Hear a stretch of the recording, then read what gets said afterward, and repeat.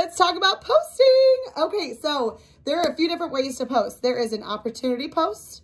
There is just like a personal lifestyle post and there is a product post. So when you join, you more than likely did not really care about like your posts as much as we would. So one thing I'm going to ask you to do is to stop sharing other people's content on your Facebook because your Facebook is your business right now. This is how people are going to see you. You do not have to live a perfect lifestyle. If you go to my Facebook, I am 100% not perfect.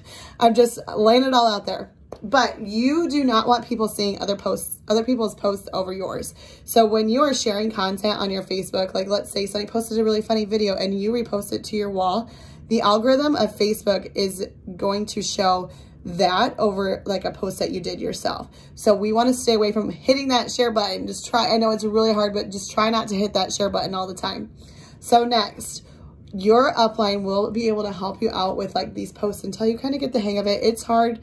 It is hard to kind of think of things. So when you are doing product posts, we want you to stick with like the same product throughout every week. Um, or you can maybe switch it up once, like once a week, like maybe post about a different product. So one thing, if you know me, you know I love the coffee and I talk about our coffee non-stop. So I will usually make a post or I'll go live on my Facebook talking about my coffee. And I'm not, you don't want to be scammy with it. You don't want to use really bad quality pictures. So when you're taking pictures, there's a few apps, which I will talk about in just a little bit on apps. Um, but when you're taking pictures, you want to have nice and clear, bright opening pictures, something that would draw your attention. You want people's attention to get drawn into you. So when, let's just say we're making a post about the coffee, you're going to have a few points that you want to touch on, which your upline will definitely help you with. What the coffee does is it helps boost your metabolism, cuts cravings, keeps you full, gives you energy, and helps you focus. Those are the main five points that you want to talk on. But, I mean, if you are just using the coffee for the energy, you can talk about just the, the energy. Maybe throw in a little bit that helps you lose weight. Whatever you want, um, whatever fits you the most and whatever your audience you feel like would really want to hear. So let's say I'm making a post about the coffee. So I'm taking a picture. Let's say this is a coffee cup. We can just pretend it's iced coffee. Just taking a picture with my coffee and I'm to throw a filter on it write these down. Here's a few apps.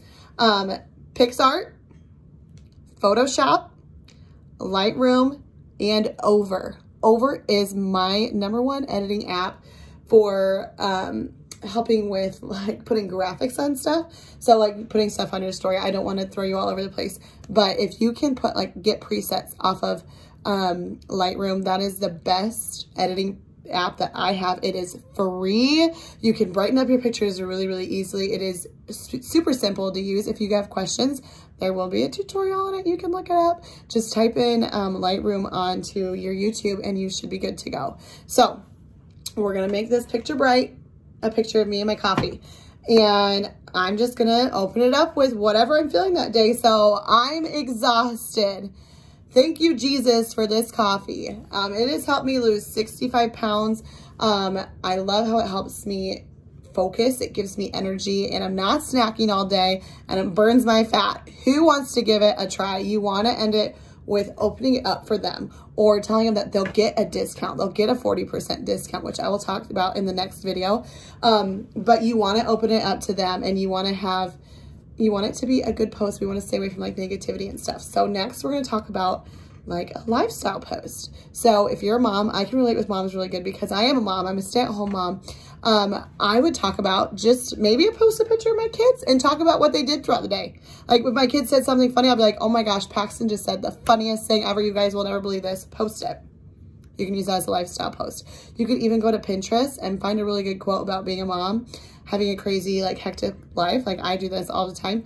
And I'll post it. And I get a lot of interactions. And you guys, if somebody is sharing your post, then it's going to boost your algorithm. And I love sharing those quotes because it helps boost my algorithm. Um, and then an opportunity post. So you guys, this might be a really hard one for you. Um, it's basically sharing your story. So you just joined. So you're probably thinking, I don't have a story. Like this business hasn't really done anything for me yet, but I, I've seen whoever I join under really change their life with this. So your story did not start when you started It Works. Your, sorry, my dogs are getting into something. Your story started a long time ago. What is the reason why you joined this team? really think hard. What are your, what is your reason? And what are your goals? These are the main points I'm gonna talk to. The reason why you joined, what your goals are, how this is gonna help you or your family, and then open it up and be like, if you can relate with me, drop a fire emoji if you want more information about what I do. Open it up. You always want to open everything up to somebody else. So I really hope that helps you guys out. Also, one thing, do not lose your personality in your post. Do not make it sound like super scripty, scripty, super salesy. We'll help you figure out the good rhythm for you. So I'm excited. Get to posting.